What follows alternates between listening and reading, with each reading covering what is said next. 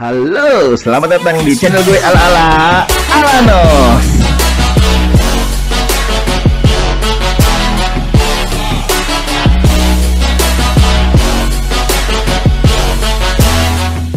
Halo guys, balik lagi bareng gue Alanos. Di video kali ini, gue mau sharing singkat ke kalian mengenai NFT game terbaru yang gratis dan wajib banget buat kalian coba mainin. NFT game bertema olahraga yang mainnya gampang banget, tapi emang butuh konsentrasi tinggi buat maininnya. So, nggak usah pakai berlama-lama ya guys, langsung aja kita bahas. Tapi sebelumnya, jangan lupa buat kalian subscribe channel YouTube Alanus ini dulu ya guys. Biar gue makin semangat bikin video tentang project, game, NFT maupun kripto terbaru yang bisa di-sharing bareng-bareng ke kalian. Apalagi ditambah sama like, share, dan komen dari kalian biar makin banyak teman-teman lainnya yang tahu sama channel ini buat kita saling sharing dan belajar bareng. Birdie Shot merupakan NFT game golf terbaru yang berada di jaringan Bora Network dan juga dikembangin sama Metabora, sebuah perusahaan pengembangan kripto dan blockchain yang merupakan anak perusahaan dari Kakao Games asal Korea. Jadi nggak heran ya guys, kalau karakter-karakter pemain golf yang ada di game ini merupakan karakter-karakter berbentuk hewan imut dan lucu yang biasanya disebut dengan kakao friends. Buat kalian yang belum tahu, karakter-karakter tersebut populer dikarenakan banyaknya orang yang memakai aplikasi Kakao Talk Messenger. Miriplah sama karakter-karakter yang ada di Line Messenger. Birdie ini sendiri baru aja dirilis tanggal 5 Oktober kemarin ya guys dan emang sementara ini baru bisa dimainin di handphone Android aja. Buat kalian yang mau download APK gamenya, bisa langsung ke situs mereka. Karena sementara ini juga emang belum ada di Play Store. Kalian bisa langsung login in-game pakai email kalian, terus jangan lupa konekin wallet kalian ke akun in-game. Bisa lewat MetaMask atau Kaikas Wallet. Kalau dari pengalaman gue, kalian bisa coba konekin dulu wallet kalian lewat boraportal.com. Nggak lupa, kalian juga bisa langsung register Bora Pass kalian secara gratis. Terus, kalau wallet kalian udah connect di boraportal.com, kalian tinggal konekin deh guys wallet kalian in-game. Yang perlu diingat, install wallet kalian di HP juga ya. Buat gamenya sendiri, kalau kalian pernah mainin game bertemakan golf, pasti udah paham ya guys sama modelan game seperti ini. Di mana kita wajib menangin tiap pertandingan golf yang ada di berbagai modenya. Di Birdie Shot sendiri ada berbagai mode gameplay yang bisa kita cobain dengan berbagai karakter yang bisa kita pakai. Karakter-karakter tersebutlah yang bisa kita dapetin secara gratis di awal game ataupun kita dapetin dengan cara gacha yang mana nantinya kita bakalan ngebuat sebuah tim yang berisi 8 karakter. 8 karakter dalam satu tim inilah yang nantinya kita pakai buat mainin berbagai mode gameplaynya dengan cara saling bergantian untuk memukul bola golf tergantung dari jenis sticknya.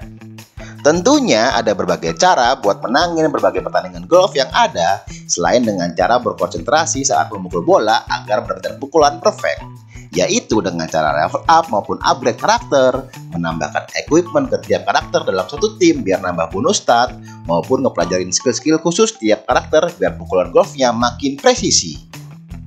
Buat ngedapetin tiket gacha secara gratis, baik itu tiket gacha karakter maupun items, kita bisa ngikutin mode adventure-nya yang ngasih reward tiket gacha tersebut. Sedangkan buat ningkatin karakter yang kita punya dengan cara dapetin EXP drink, gems, fans medal, dan item-item lainnya, kita bisa ngikutin mode World Tour-nya. Nah, kalau buat mekanisme play to earn-nya, kita bisa ikutan main di Extreme Mode, yaitu pertandingan golf antar 4 player secara real time. Dan juga mode screen practice room, yang mana kita bisa ngirim karakter yang kita punya buat ngelakuin training butuh practice ticket buat kirim karakter ke practice room yang bisa didapetin dari Extreme Mode. Dari kedua mode tersebut, kita bisa ngedapetin gold ya guys, yang mana dari gold tersebut bisa kita swap ke Birdie Token, baru kita convert lagi ke Debora dan Bora Token. Yang mana buat nge-swap dan convert tokennya, ada ketentuan minimal yang harus kita penuhin ya. Buat lebih jelasnya gimana mekanisme permainan di Birdie Shoot ini, bisa kalian lihat detailnya dari gambar di video ya guys. Nah, kalau saran dari gue, mendingan kalian fokus mainin dulu mode adventure sama world tour-nya buat ngedapetin karakter dengan start yang lebih bagus plus ningkatin EXP levelnya.